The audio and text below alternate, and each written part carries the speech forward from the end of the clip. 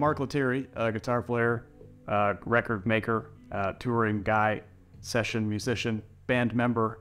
Uh, you may have seen me with Snarky Puppy, Fearless Flyers, uh, Mark Lettieri Group, or various other things. I don't know. There's a lot floating out around the interwebs and the world. Um, but, you know, I uh, got my start playing music probably much like most of you have. I just picked up a guitar that was laying around the house and fell in love with it. Um, but I think what was most important for me is that I always had inspiration and I always had mentorship. And I think that's a real big thing, especially for uh, those of you that want to make a career out of this. It's always having people who are a little bit farther ahead of you. Maybe they're a lot farther ahead of you.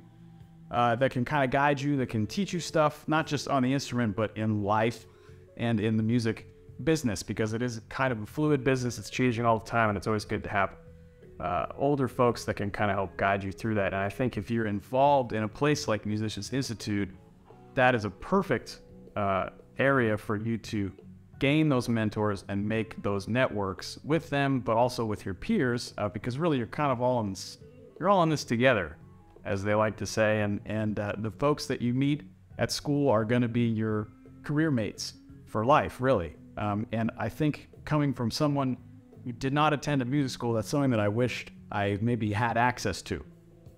Uh, was more of that networking ability, more of those mentors. I did have some some great ones growing up, which I'm very thankful for, but I kind of had to seek them out. They weren't right here.